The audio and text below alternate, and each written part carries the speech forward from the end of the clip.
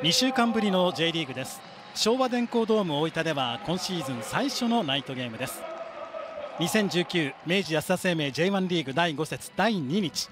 大分トリニータとサンフレッチェ広島のゲーム。開幕から4試合で3勝の大分トリニータ。そして今シーズンまだ負けのないサンフレッチェ広島好調同士の対戦です。えー、まず大分トリニータなんですが前節横浜 F・ マリノス戦からは1人変更後藤に代わってオナウが起用されています。ゴールキーパー高木ディフェンダー岩田鈴木福森ミッドフィールダー松本前田ティティパン高山そして小塚オナイウアド藤本。オナイウアドは今シーズン初スタメンです。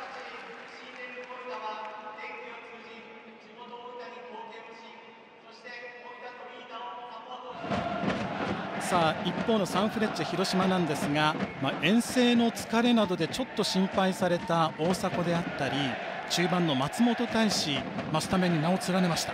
そうですね。だけどやっぱ勝ち点をしっかり取ってきてて自分たちのやりたいことがしっかりできているので、えーうん、そういう部分では変えづらいですよね。はい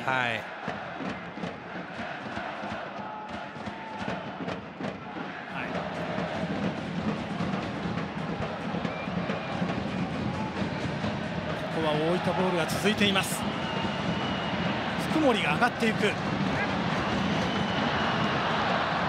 これはラインを割りました。しかし3バックの左福森がここまで上がってきています。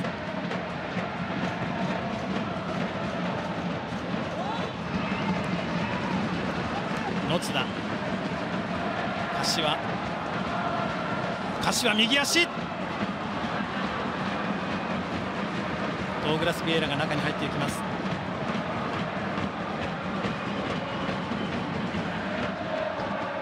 さあファーストハーフの41分が経過しています。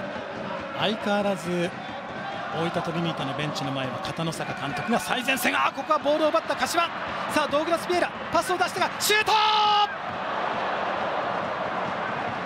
最後柏のシュート。ドーグラス・ビエラが持ち運びました。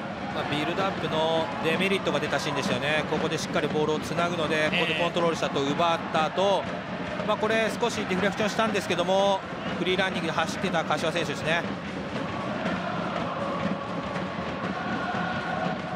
さあ柏サイドを変えてサロモンソン。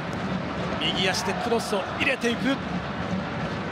ヘディングで弾き返す大分オナイワードさあ落として柴崎浮かせてヘディングシュート!ドーグラス・ビエイラ!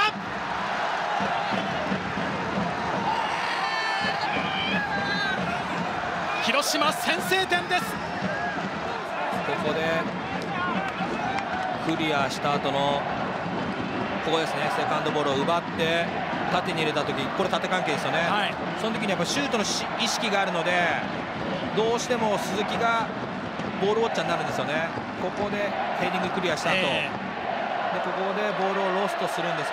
ボールを奪うんですけども、はい、ここで縦関係入ってシュートがあると思うんで鈴木の方はボールに対して目がいきますよね、そうするとプラウェイしたドーグラス・ビエラがフリーでヘディング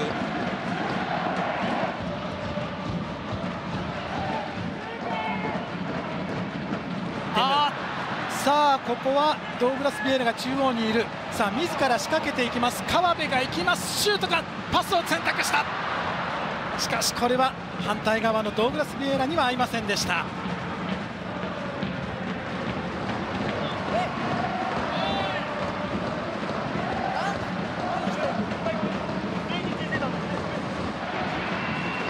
右に出します。左足でシュート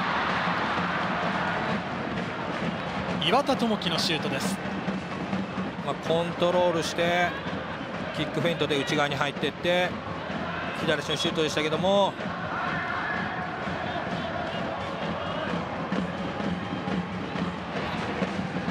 オナイ残す。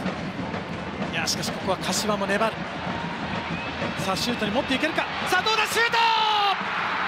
小林聖吾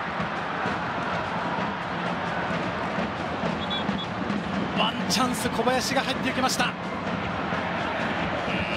惜しいなという表情の片野坂監督です、